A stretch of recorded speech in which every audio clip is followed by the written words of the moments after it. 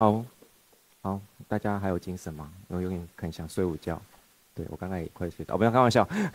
OK OK，好，那我就来开始今天这场 session。那我们是呃，我是 Mars，那目前是在 Chain Michael 当个 Staff Data Engineer。那主要负责就是像是 Big Data 的一些 Infrastructure Architecture，然后一些分散式的架构，那以及一些流 Streaming 的 Pipeline。那也有部分去琢磨到像是 Machine Learning 的一些应用。那但我们现在用比较 focus 在 NLP 啦，所以最近也有在做一些。等一下我们在下一 part 的 Large Language Model 也有做一些策呃策略这样。对，那这是我今年算是第第一次踏入到 c y w o r 这个社群，对，所以希望大家也可以请多指教，然后给我一些指教跟建议这样。对，那我们今天要讲的主题是 Data Lake House Architecture Evolution and Feature。那这这个 house 它其实是起源于在二零二零年，有差不多三年前的时间，这个名词才开始慢慢的发展起来的。那它到底要解决问题是什么，以及它带来的影响又会是什么，就会在今天这场 session 来去做一个讲解。那同时也会和前一个讲者熟悉的一些东西来去做一个整合，这样。好，那我们今天要讲的内容其实就有这五个 part。第一个就是我们先了解一下 data 跟 data storage，那以及何谓 lake house。它到底实际上它带的重点优惠是什么？那再是会简单带一下，到底现在这个 Lake House 的代表性的服务有哪些？那第四个这边我准备一个很简单的 simple 的 code demo，然后以及我在过往我怎么把它应用到我们真实的 use case 当中，然后去真实一个用的，把它变成一个 production 的一个引法。那最后我们来讲一下，就是它实际上的 summary 跟 feature 这样。好，那一开始我们先来讲一下 data 跟 data storage。那在这边有没有？我想要先问一下。对于 data 的格式啊，大家有没有能把它分类成几种？有没有大家有办法把它分类成有哪几种 data 的格式？常见的 data 的文件，structure，还有呢，unstructure，有 structure 定义 unstructure 嘛？对不对？对不对？那有 structure 就 unstructure 可能就一定就会有第三种，就介在中间的，就不男不女，那 semi structure，对，对。所以我们今天呢，我们要先从了解资料本质来开始来。介绍，我们才知道 Lake House 到底要解决问题是什么？Structural data 就是我们很常见，就是所谓的 raw base data，它必须要很明确的定义所谓的资料的栏位、资料的类别，那以及它的 schema。那它的处理方式比较常见，有像是 CSV，对我们常见那种 Excel table 那种就是所谓 structural data，我们必须要很明确的清楚定义到每个栏位的类别，那名称是什么。那 semi-structure 它会变成是说，哎，我对于 schema 可能比较没有那么要求，我可能会是属于比较动态性的伸缩，对，像是 JSON 或者是 XML，啊，我 schema 可能这一笔 record 可能是有五个 key，那我可能下一笔 record 进来可能是有有变六个 key 或者四个 key 这种状况的发生。那 unstructured 它变成是会是一个 object，就是常见像是 image、audio、video 这三种类型，对，所以我们在一开始的时候，其实我们会先把这样的资料把它拆分成为三种类别。那基于这三种类别，我们一定会有个别要处理的储存的格式，要比如说要用 DB 存，RDB、NoSQL，或者是用 Data Warehouse，或者是 Data Lake 等等的。所以呢，我们在对应到这些格式的时候，其实我们会把 Data Storage 分为这几个，常见的就是 Database。那 Database 就有分所谓的 relation Database 嘛，就是 MySQL 啊、MariaDB 啊、PostgreSQL 啊等等这些的，这些都是属于所谓的 Raw Base 的一个资料储存方，资料的储。资料储存格式，那它不叫做储存所谓 structural data。那什么叫 raw base 呢？就是想象成刚你下一个 select，或者是下一个 where 或做 group 的时候，它的扫描方式它是一个落一个落方式去去扫的。即便你加个 index，它还是一个落一个落下去扫。所以它可能要整个扫完整个 table，它才会找到你想要的资料出来再去做分析。所以你可以想象成在这种状况下，当我资料量越来越大的时候，我要做很大历史大量的历史查询的时候，其实 raw base 这个 CPU power 是会非常非常的不够的。所以我们可能会用到所谓 data warehouse，这样，对。那另外一种 database，另外一种 database 就所谓 NoSQL，就常见的 key value。那举例就是 Redis。那 time series 就是我是以时时间力度，我是用时间力度方式去做储存的。然后我可能是存到 hour、minute、second 或者是 minute second。那我的 Y 轴一定都会是时间轴，那 S 轴才会是我的真实的那个 Y 那个数值。对，像 time series 最著名的就是像 Apache 的 Druid，或是 InfluxDB 这样，那 Column Free 就是我会有特定的 Partition Key 作为我的 Cluster Key。那我在做资料分散式的时候，我会根据这样的 Partition Key 把资料分散到对应的 Node 身上。所以我今天给它设有三个 Node，那可能某一些 partition 的组合会在存在 A 的 node 上，那有些 partition 的组合会存在 B 的 node 上，来去做到我的 HA 跟我的 consistent hash。那常见像是卡 central DB 或者是 C 的 DB。那 document 的话就会存像是 JSON 的格式，那最著名就 Mongo 嘛。那 Graph 的话可能就是拿来会储存像是我们要做社群网络的分析，social network 或者是电话网络的那种 network，或者是所谓 knowledge base。对，所以常见可像 Neo4j 或者是 dgraph 这样的 database。那这些东西呢，其实我们要做所谓的大历史的资料分析的时候，其实还是要把它拉出来去做一个一层的资料转换，转换到我们 data warehouse。对，那 data warehouse 就所谓它是所谓 column base，跟我们刚才前面提到 row base 不一样。column base 它变成是说，它在储存的时候，它会根据这个 column 里面的资料先去做萃取，然后变成零一个方式去做一个分层。那当我今天讲，今天假设用 where 的时候，它会是用零一个方式去做 b wise，然后只把有一个那个栏位，一个那个资料再抓出来，所以它不是全扫的方式，它是用 b wise 的 column base 去做一个处理的，所以它在对于大量的历史资料分析的时候，其实它是有一定的效能跟帮助的。那再来是说，它还有本身就做所谓 cache 机制，所以在对于第二次处理的时候，其实它会加速它处理的速度。这样，那常见的像是 CakeHouse、AWS Redshift 或者是 Snowflake。但是呢，这家 warehouse 它毕竟还是只能处理所谓的 structural data，因为它还是要定义明确的 table 嘛，就是我的栏位名称、栏位类型等等的。但是随着我们这一两年或者这几年发展，其实很多像是 image 的应用，或者是 audio 应用，或者是 video 应用，很多 AI 都是建议在这边去做处理的。所以这些 data warehouse 其实都不适合去做储存的。所以后来在二零一零年的时候，尤其是分散式架构 Hadoop 开始申请的时候，就提到就是说我们用 Lake House 对它 Lake 的方式去做储存，像是 HDFS、S3、GCS、Azure Blob 或者是 Database File Storage，主要去储存像是 image 啊、audio 啊这些 object 的方式这样。对，那随之呢，其实我们后来在二零二零就提出了一个叫 Lake House 的东西。那最著名的三大三大龙头就是 Database Delta Lake。那 Apache 一个呃 Iceberg 跟 Apache 一个 Hoodie，那你可以想象成它就是把 Data Warehouse 加上 Data Lake 的一个概念，个这两个优势起来，所以我们可以把这样的方式把它变成这张图。Data Warehouse 你可以想象成我们还是底层处理处理的是所谓的 Structural Data，那我们应该会经过所谓的 ETL，就是说我们会需要额外的 Third Party 的程式，比如说你是用 Spark，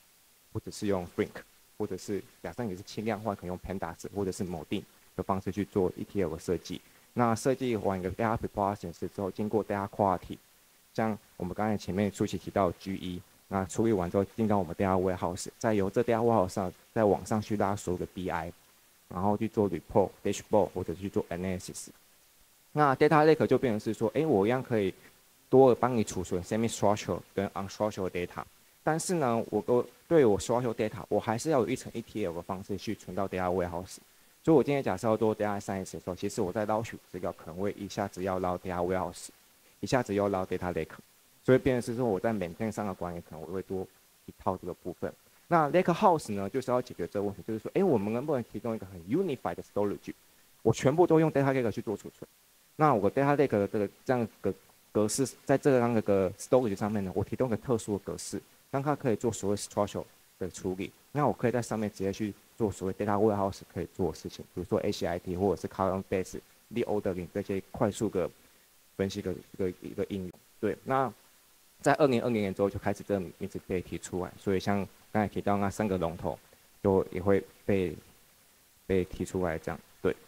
好，那我们来讲一下，我们刚才已经了解到整个 data warehouse 的一个架构原理了嘛？那其实它我们在快速里可以它要带来的东西是什么？它其实主要有几个重点。我们最主要核心就是要去 unify 我们 storage，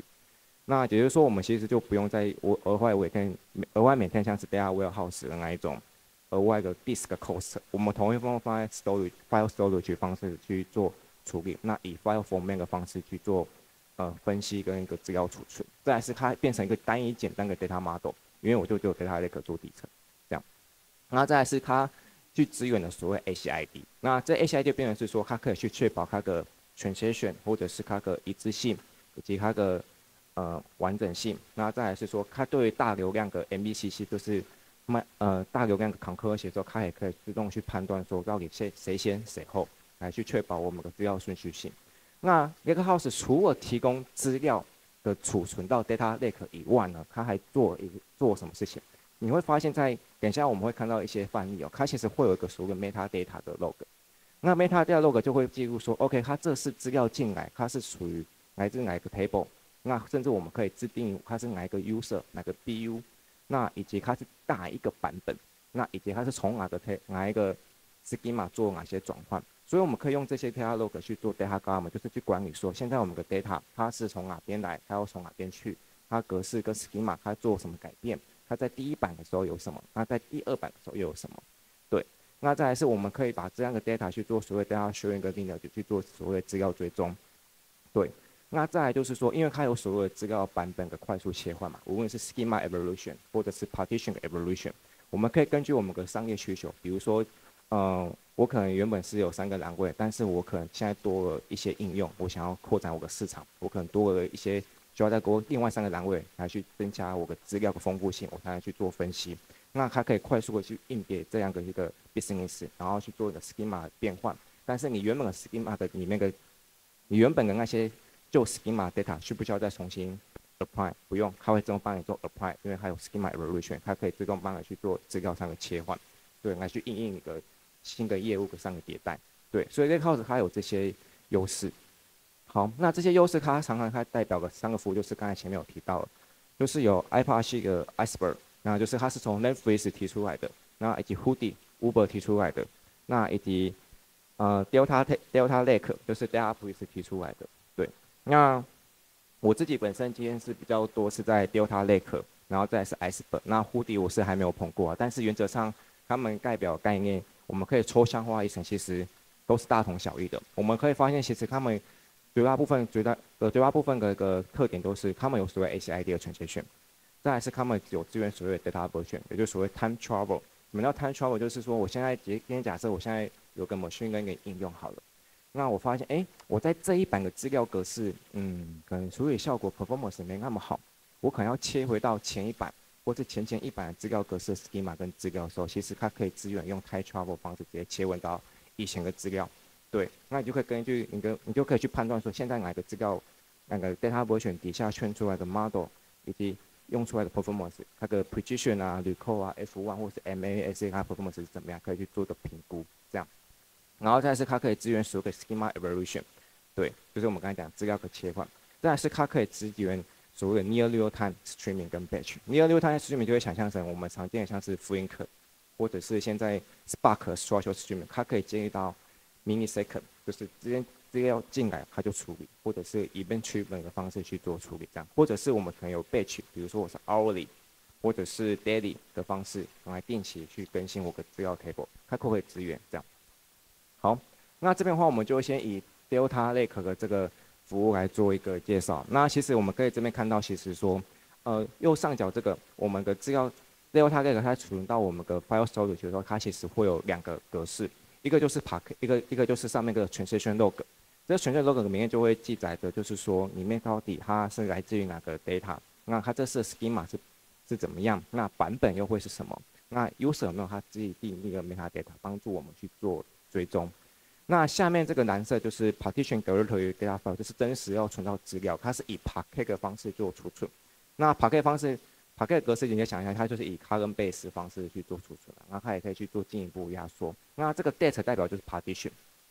对，所以你可以想象成今天假设我们的 date 是二零一九零一零一跟二零零一九零一零二，那我们在这一层，我们建立在 data house 上面去做 query 的时候，它在比如说我在会有 date 等于零一零二的时候，它其实只会找零一零二底下 packet 把资料拉出来，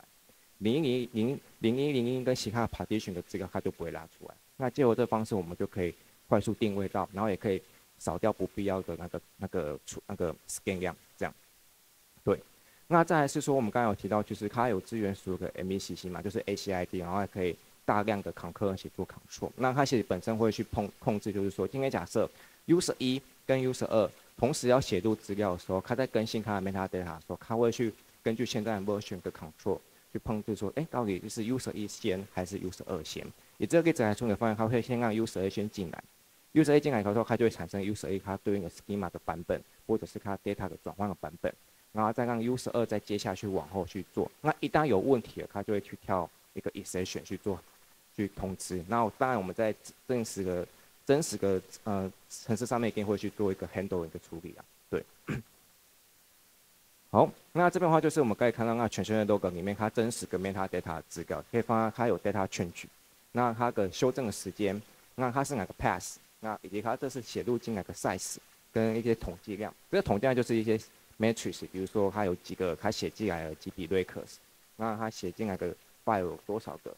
等等的这些资讯，然后还有一些 matrix 啊这些这边都在这里，或者是我们可以制定好一些 user data 在这边，然后让我们去追踪说它的它是从哪个 data。哪个 table 去做一个全世界过来的。那另外一个就是可能是 iceberg，它这边比较多有这 partition evolution，因为 partition evolution 这件事情是，如果如果大家有这个，如果大家熟悉 partition 的话，比如说我们一开始的 partition 是设定到日期，以左边这个例子，它是零呃十一月零一、十二月零一，就是到日期这个 label，但是可能随着我们的呃业务的扩展，或者是我们的实际的场景需求而不同。我们个发现，哎，这个 data 里面它要少资料量太大了，我还是要再往下切割一层，对，所以我要哎切割一层，它就会往下再切割一层，所以就变成是说，它可以支援中间你的资料累积的时候，它是可以让你把 partition 去做变换的。但是你对于对于你的 BI 或者是对一个 report query 有没有影响？没有影响，因为它底层帮你做一个兼容性的处理掉，这样，对，这是 partition evolution，那可以让你去做一个加速的一个效果。好。那我们了解完了 Data House，那实际上它到底要怎么在真实的资料工程里面怎么去做应用呢？常见的资料工程的架构不外乎会有分为下面这两种，一个叫做 Kappa Kappa，Kappa 也就是说我们就是只专注在所有 real time 的 layer，就是我们就只有串流资料，就是有资料进来我就处理了啦，无论是一秒钟 millisecond 或者是 event trigger，有资料进来我就处理了。对，那处理到我 storage，那我该根据我后面的 app application，可能是我要及时性的分析。比如说用卡夫卡的 stream layer，或者是用呃一些其他的方式去及时性的拉资料出来，或者是我可能要定期的 batch layer 的方式去把资料拉出来去做 dashboard 展现，或者去做一个处理，这样是卡帕。那卡帕有个问题就是说，哎，如果今天假设这个 streaming 断掉了，资料是就断掉，对，资料是有机会 loss 的哦，资料是有机会 loss。变成说你要额外又一个 process 叫做 replay，你要把重建的资料再 replay 回来。被取的方式 replay 回来，才能确保一个资料的完整性。所以后来有提到叫 lambda，lambda 就是说，哎，我能不能去兼兼容我的 streaming 跟 batch？我同时每天两套，我让上面的 real time data 我是用卡夫卡或是用 Flink 方式去做 streaming 的一个处理，但是我下面可能有个 batch，比如说我定期一个小时更新，然后去更新到最近的一小时资料，来确保我资料其实是如果假设我 streaming 过程中有问题了，那我下面还有 batch layer 可以帮我去做 replay 跟回补。来去确保我们后面的 application query 它是可以持续的被应用在的，被运用到的，然后也是确保拿到最新的资料来做分析跟处理。但是这有什么问题？effort 太大嘛，对不对？maintain 我要 maintain Flink，我要 maintain 卡夫卡，我要 maintain Spark，哇，我不同的类我要 maintain 一套，太大太麻烦了。所以后来呢，Delta Lake 它提出了新的格式，Delta Architecture，我全部都只用 Spark，或者是我全部只用 Flink。那我全部手里就用 Delta Lake 方式去做处理，所以对我来说，我的 streaming 的方式我可以同意用一套 application。那我的所有的储存方式就是用 Lake House，就 Delta Lake 方式做储存。那我一样在上面可以去兜建我的 real time query，或者是 miss query，或者是 batch query 这样。所以基于这样的 Delta Lake 的架构，其实我们可以再看到，其实这一两年其实有发现到，就是大多数会把这样的 Lake House 的 architecture 分为三种 application architecture。分别是 bronze、silver 跟 golden。那 bronze 简单来说就是我们就是所有的 data，就是资料进来了，我们就先放进来；资料进我们就先放进来。那再就是中间的话，我们会从 bronze 先经过 silver，bronze 到 silver 会去做所有的 filter、cleaning 跟 augmenting，就是做资料清洗、schema 的验证跟 data quality 的部分。那这边的话到 silver 这层可能都还是属于工程逻辑。什么叫工程逻辑就是单纯很验证的资料夸题，但实际上我们要给业务或者是给 data science 或者是给 business NS，他们要其实是所谓的 golden 区，就是所谓业务逻辑。对，可能他们的要的资料可能不需要 n 个栏位，他们可能需要做先事先做好 group by aggregation 这些东西，然后再呈现在报表上去做分析这样。对，所以 golden 区或是属于 business level 的 aggregation。对，然后面再去做所谓的 streaming analytics 跟 AI report。那这个架构有什么好处？我把我资料做分隔，我同时也把我的 permission 做切割，所以就是说 BI 只会碰到 golden 区，它碰不到 silver 区跟 bronze 区。那相关其他 BU 的 data 人员，它只会碰到 silver 区。那真正碰到 bronze 就是核心的那个 go data，只会有送 go data 的相关的人员。所以我们在 security 跟 permission 上其实都可以做一个完全的独立跟管理。这样。好，那再的话就是我们已经介绍到整个。一个架构，那我们就来快速的 demo 一下，呃，这边实际上它的长相会怎么样？好了，那这边的话，我们是用 Spark 加 Delta Lake，对，不确定大家看不看得到，然后稍微放大一下。好，那我们一开始一样，就是会先执行 Spark，然后去把相关的 Spark Session 给执行起来。对，那这边有个裸 Data，那裸 Data Schema 就很单纯，就是说，呃，我就是拉 Cargo 某一个资料来去做一个范例了。对，那他其实就是去看说，哎，那到底 c o r s e r a 它这些课程啊，它是跟哪些 partner 合作的？那 course 内容名称，那它的排名，那看有多少个呃浏览人数，然后以及它的 level 是多少，然后一些 type，然后以及它维持了多久的时间，对，然后是不是有被验证的？对，然后我们就很单纯，我们就把它视为一个 raw data，然后我们把 data 先写到 bronze 区。对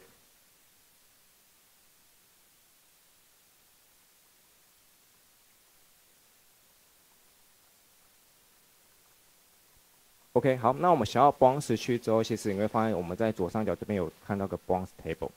那我这边的话，其实你会发现我们在 Spark 这边在写到 Delta 格式的时候，就 Delta 格式，我们其实是跟先根据 partner 先去做 partition 的，对，然后去写到这个 pass，对。那我们这边来看一下，好，我们去 treat 它 bronze。你会发现它就是根据我们的 partition 进来。那这边的话就是 Delta 它格式，就是它所有的用 packet 的方式去做。然后我们往上拉，你会发现这里有没有个叫做 Delta Lock？这个就属于一个 meta data，就是我们刚才讲的，就是我们可以去算出说它这是写入进来的一些 matrix，那以及它是从哪个 table 进来的。那我们可以用 Delta 的方式去把这个这个给读取出来。这里。那这边的话就可以看到一些它的 append 方，它的 mode partner，那它写的方式是 write，那 files 或是它当时的 version 这样，对，好，那我们现在有罗 data 到 bronze 区了，那我想要先做一个很简单的清理，我想要从 bronze 区这边拉出来，那我们去做一个简单清理，这边做什么清理呢？就是我们因为 review count 里面可能有些有诺子，根据原始的资料有些诺子，然后我们要再把，因为 review count 它是十六点四 K 嘛，我们我们要把它真的转成一个数字，而不是 string 的格式，对，然后还要把 label 的 nonwords 给排除掉，所以我们先做一个这样的处理，用 PySpark UDF 方式去做。好，它整个清理完之后呢，我们今天假设它就是清理完要放到 server 区的资料了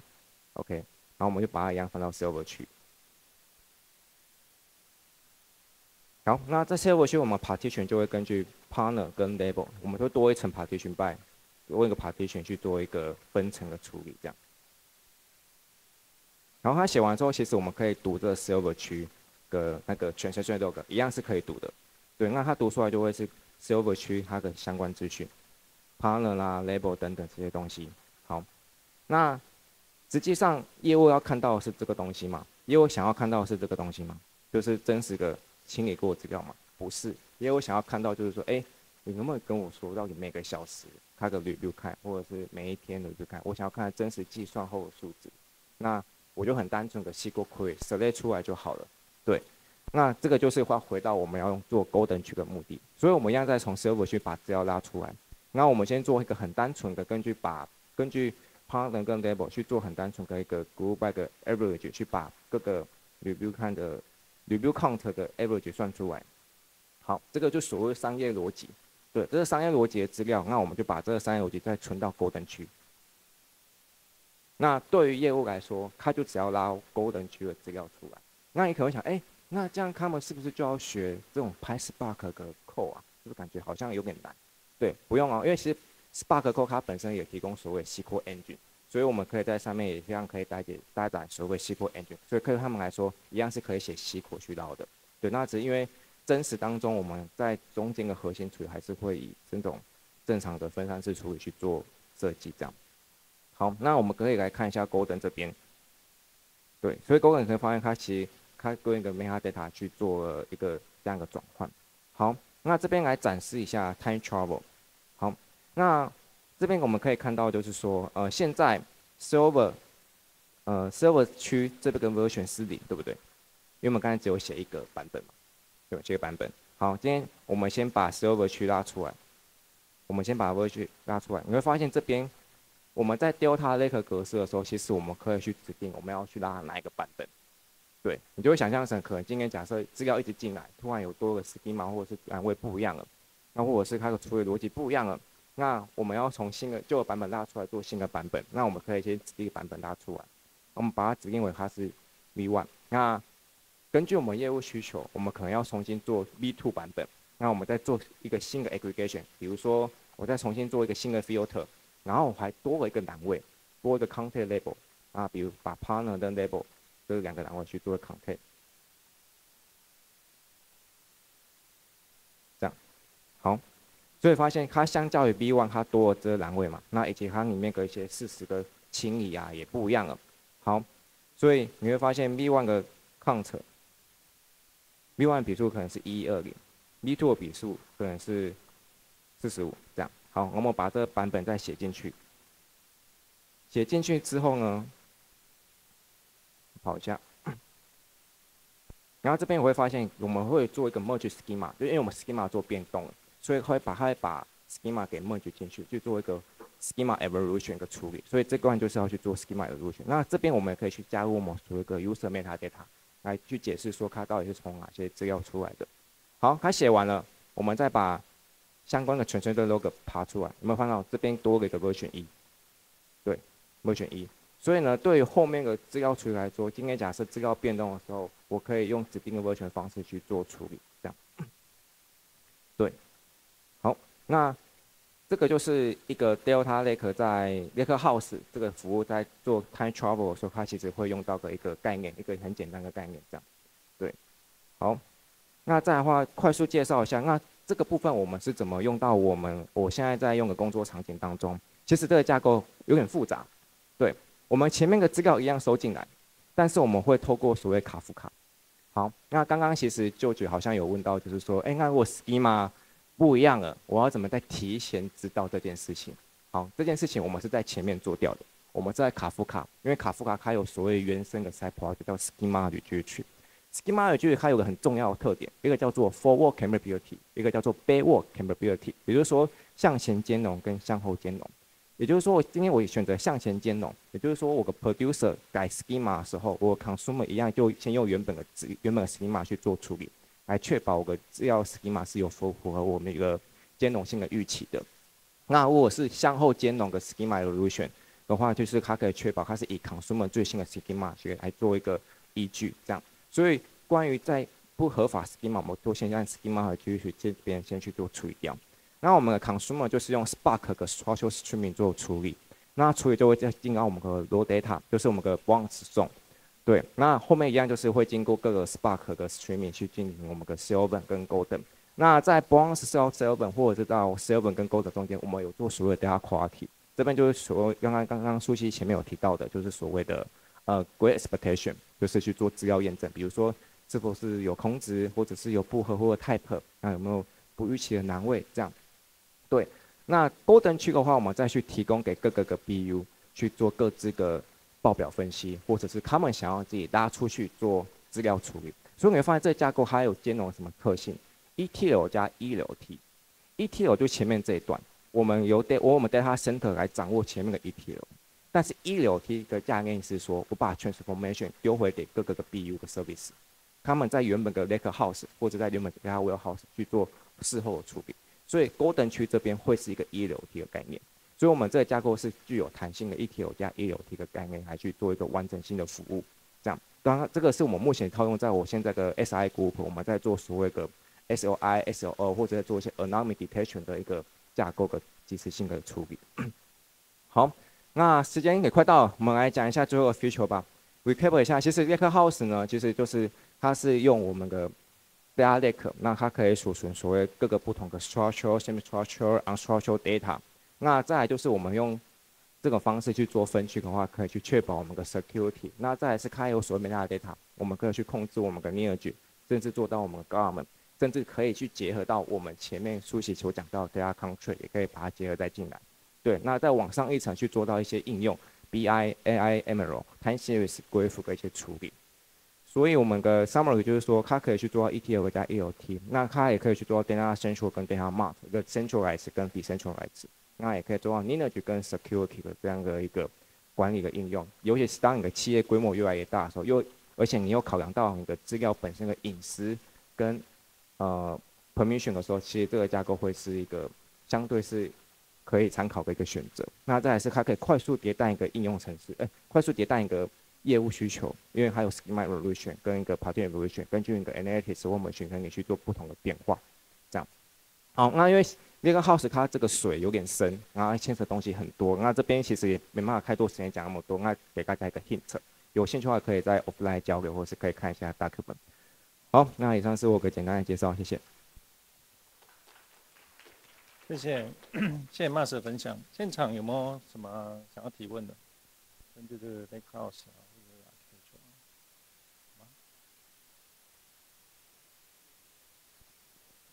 嗯，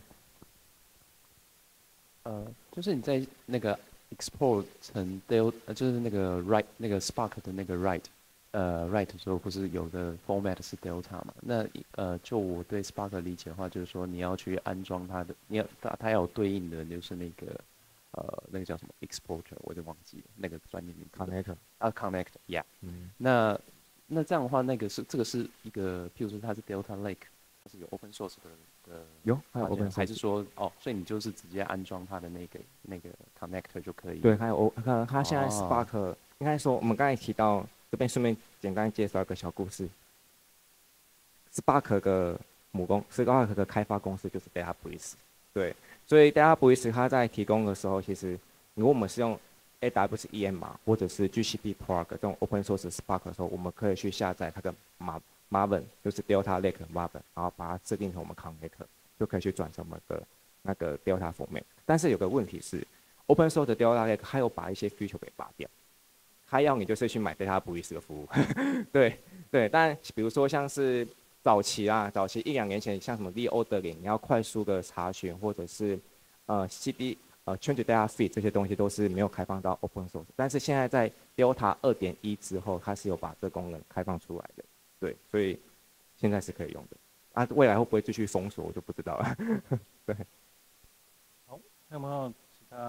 想要交流？啊啊！好，喂喂，西，啊，我不会问奇怪的问题。呃，我呃，我想请教说，我们在做这些系统后面啊，那就很多的专案已经在做，然后我们有很多开发在做。对，那如果要想要投入这里面的系统开发，如果除了 application 之外，有很多 infrastructure，嗯，怎么样进入会比较好？你说怎么样进入到这边的开发跟设计？这些 infra infrastructure 的开发？嗯嗯嗯，呃，这边的话，我会分为，哦，加入 side work，OK，啊，我讲认真的，呃，通常它会有一些事前的知识要先 pick up 起来，对，比如说你要对分散式架构，那比如说要怎么做 HA partition VB 卡，怎么做，是怎么设计的，然后你的 streaming 是怎么运用的，batch 怎么运用的，有些事情的理论知识是要知道的。不晓得大家有没有听过一个我们 data engineer 那个里面，在二零一九年有一个很堪称圣经的一本书，叫做 DBIA。对，那本书我读了三次，对我读了三次啊，我也做三次不同的笔记。我最近面试都要考那个。我对我面我我我当面试官，我就考哪一个？对，对，那个其实会帮你巩固到你整个大数据架构里面的知识，所以你掌握那个部分，说 Lake House 可以掌握，Spark 可以掌握，Flink 可以掌握，卡 c e n t r a GraphD、GraphDB 这些分散式的架构，或者是 K8s，你也可以去掌握。只要你可以把这些东西给抽象化起来，它可以帮助你快速 apply 不同的 application 跟应用。对，那第二个部分就是说，除了我们有这些事前知识之外，再就是你心中要有一个资料流的概念。对，很常我们在做，我很常看过相关的资料工程师就是在写 pipeline 完全没有资料的概念，他就觉得，哎，我 A，哦，我就是 B 嘛，对。但实际上，它可能经过很不同的程序，它才会产生 B。那到底这些程序它的资料流的 mindset 应该是什么？它其实是需要培养出来的。对，他可能就他想要一步到位，但往往不会一步到位。对，所以这资料的 mindset 也是需要 pick up 起来。那再来就是 coding 的能力，对，应该就是这样吧。对，好，好，谢谢马斯。好，那书你有抽版权吗？啊，书我有抽版权吗？你说我卖的书吗？对，这 Mas 其实他也有写一本书。哦，对，我有写一本书。对，大家可以多参考一下。好，那今天谢谢 Mas 的跟我们的分享。谢谢。